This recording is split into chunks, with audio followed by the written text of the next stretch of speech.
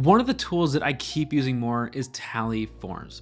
I talked about it on a previous video on this channel, but I wanted to dive a bit deeper and compare it to another form builder that I use a lot, Airtable Forms. They both can be good tools to use, but like any tool, they have their time and place. So without further ado, let's jump into each of these form builders and see when are the best times to use each of them. To get started, I'm gonna use a template that I've shown in a different video on this channel. That template is the Airtable CRM template. If you're interested in learning more about this specific template, you can learn more in the description of this video. The nice thing about Airtable forms is that they're just a different view in Airtable. So as you can see, I have all the fields in a standard grid view in Airtable, but also have this form view that essentially sits on top of all of this data. Since the form just molds to whatever fields you have in Airtable, I typically start by just creating the fields with a short form field name and then create the form view from that. Airtable will automatically populate the fields when you create the form view. You can then remove certain fields from the form if you wish. As you can see in the people form, I've removed status, interactions, and send date because they're irrelevant to the data we want to add via this form. Once you've decided which fields should be in the form, you can change them into questions without changing the field name. For example, I could have what is their first name as the question in this form and still have first name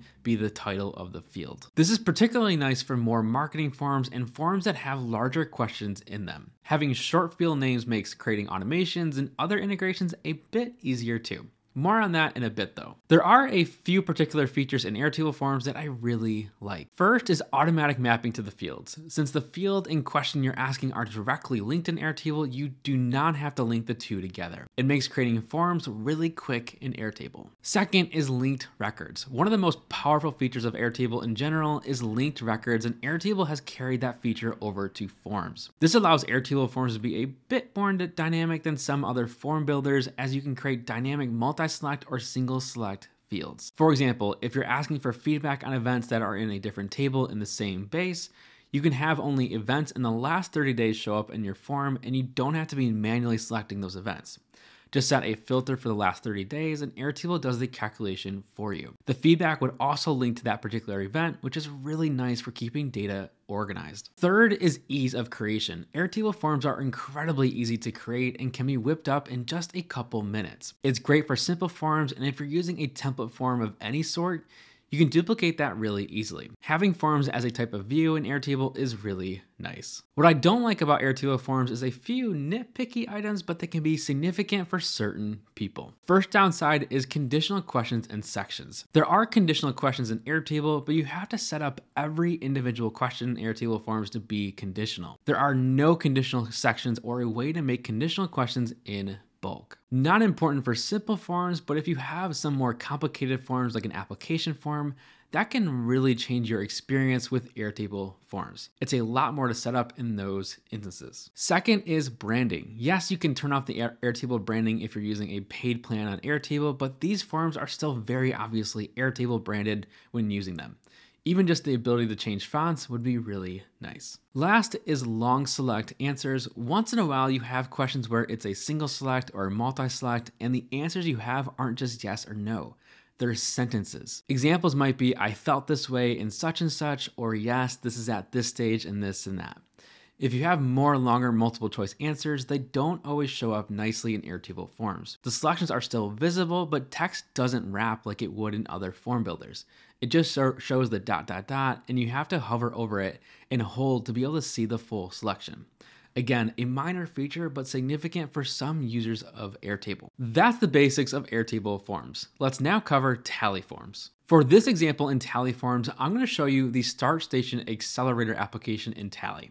If you want to learn more about the Start Station Accelerator, you can check it out in a previous video of mine. A link to it is in the description. In Tally, you'll notice really quickly that this is not your standard form builder. Tally is like building a form as a web page. If you're used to Notion, Tally has a lot of similarities, particularly because Tally and Notion use the same type of block framework to create a page. You can see here that I was able to create a nice front description of this application even with two columns, which is really nice. I was able to customize the fonts and it looks a lot like Notion on this first part. If you're someone that uses the keyboard shortcuts in Notion a lot, Tally is similar in that respect. To create a new question, you just hit the backslash key and you'll see all the different question types available. You can even create headings, bodies of text within a form, insert videos, and even pages to a form. This gives Tally a lot of dynamic properties. Within those properties and features, there's a few that I particularly like that I want to highlight about Tally. First, web page format. The web page formatting in Tally is a big deal. It takes some getting used to if you're used to more standard form builders like Google Forms or Airtable Forms, but the web page formatting in Tally allows you to have so much customization and create a really great experience for those interacting with your form. Related but different is design. As I mentioned earlier, I was able to change fonts, which a lot of form builders don't let you do. You can do a lot when it comes to the design of a Tally form. You can brand a form incredibly well in Tally to the point where it can integrate beautifully into other branded elements you might have on your website. It takes the user experience to a different level, especially with the ability to incorporate videos, images into the form as someone is filling out a form. Third is conditionals. I have to admit, originally I was skeptical about conditionals in Tally because they're pretty different. I've come around though, and they're really nice. You can make questions conditional and even particular answers conditional. So if you want to create a really dynamic form where potential answers shown depend on previous questions, you can do that in Tally. You still have to select which questions show individually for conditional questions and answers, but it's not a bad experience. It's as simple as checking which components should show when particular answers are given. So it's not bulk conditionals or sectional conditionals, but it's a good alternative. For what I don't like in Tally, there's a couple of features that stand out. The biggest inconvenience is mapping fields. You can see responses in Tally, and Tally can integrate natively into other tools like Airtable or Notion without the need of Zapier. That's really nice. However, you have to map each individual field to the field and the tool that you are integrating. So if you have 10 questions in your Tally form, you have to map each of those 10 fields to the respective field in Airtable or Notion. It's not the end of the world, but it can be a bit cumbersome. One tip on this that I hinted at earlier is to keep your Airtable or Notion field names short. That way you can easily see what they are in Tally and map the fields a bit quicker. Next is copy of responses. The copy of responses in Tally is nice for the right people. You can send customized and dynamic emails to people that respond to your form, but if you have a lot of conditional questions in a form, it's essentially impossible to just send a copy of the response cleanly. There's no toggle to just send responses just like there are in other tools. Those are the basics of Airtable forms and Tally forms, but when would you use each of them? The simple answer that I've landed on in the past month is that if you're creating a very simple internal form like adding people to a CRM, use an Airtable form. They're super quick to create and the form doesn't need to be this super polished, great experience.